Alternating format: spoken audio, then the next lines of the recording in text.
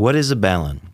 A balun is a device that allows you to send a line level audio signal over long distances without picking up additional noise and interference along the way.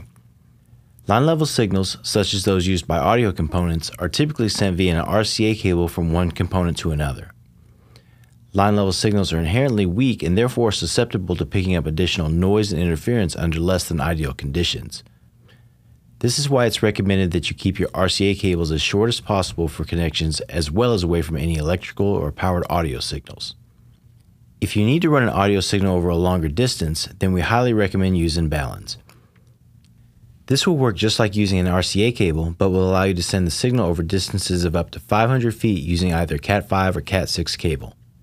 Baluns are the perfect solution for when your source component is not located with the rest of your audio components.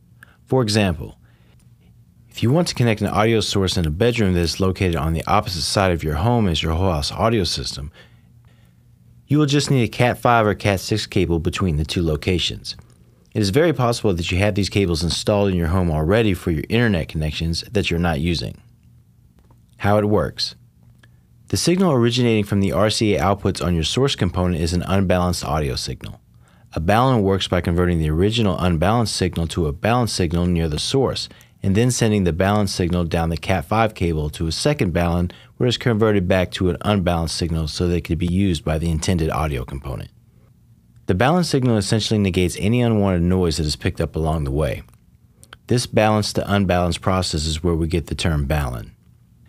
We have used a very short Cat5 cable here for demonstration purposes, but again, the Cat5 cable between the two baluns can be up to 500 feet in length, so there is virtually no place in your home that you cannot connect a source to if you like, as long as you have or can run a Cat5 cable between the two locations.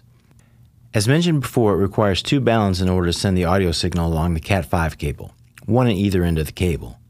HTD makes two different types of baluns.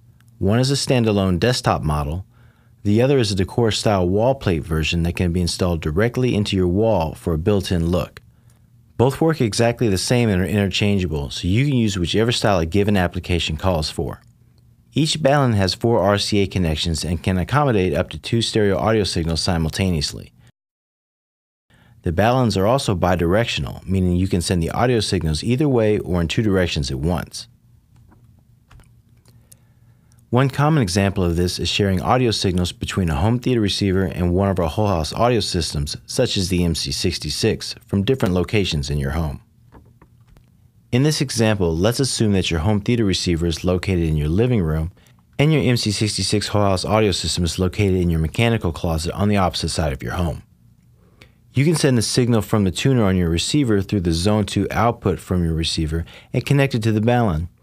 The balun will then send the balun signal over the Cat5 cable to the second balun located next to your whole house audio system. You would then connect the output of the balun to one of the source inputs on your MC66.